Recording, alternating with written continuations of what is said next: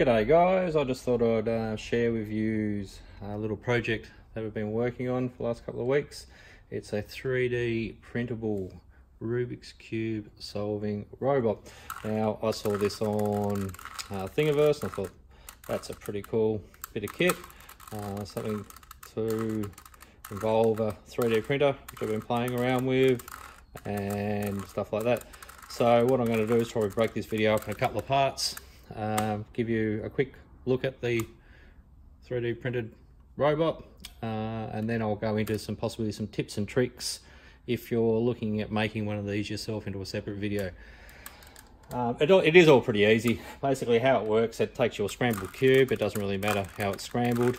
Uh, you place it into your lower position of the robot there and then we've got our interface. We can hit run and then it'll grasp the Rubik's Cube and take a, a, series of photos of it, which it's currently doing now. It takes 12 photos, uh, which could probably, it might be a bit tricky to see, but you can see it's displayed on my Raspberry Pi touchscreen, which I've got connected up to my Raspberry Pi. So it's a fully standalone Rubik's Cube solving robot.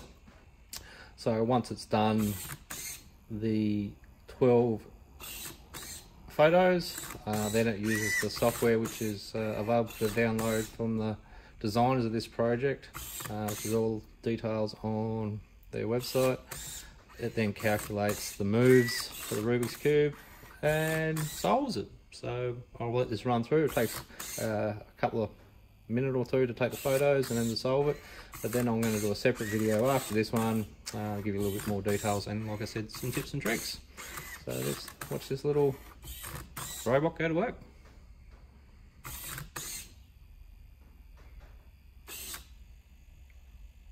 So he's taking all the photos, he's just processing the, the moves. It's going to take 29 moves. It displays on the touchscreen here where he's going.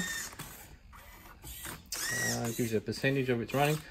Um, there he goes. All right, we'll watch him through. And like I said, I'll do a second video anyone interested in how I think it works and some tips and tricks. If not, thanks for watching guys.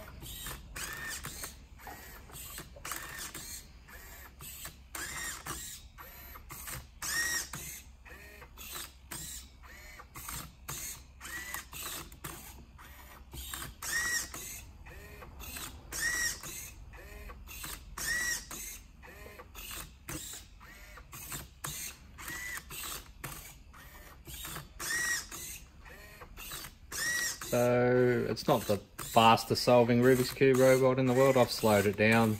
So it just gives the, uh, the, the, grippers, so to speak, uh, a chance to nicely hold the Rubik's Cube without uh, messing it up.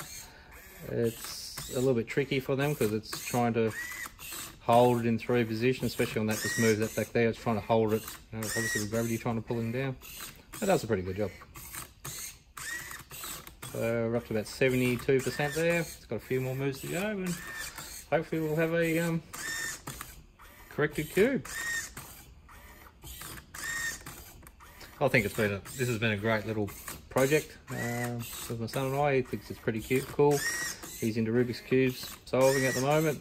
Um, I was, I could roughly get it out. I could get one side out quite easily. Um, well, I can't remember the, all the algorithms nowadays for it. but that was another thing that sort of appealed to me. Um, there we go. A nicely simple cube.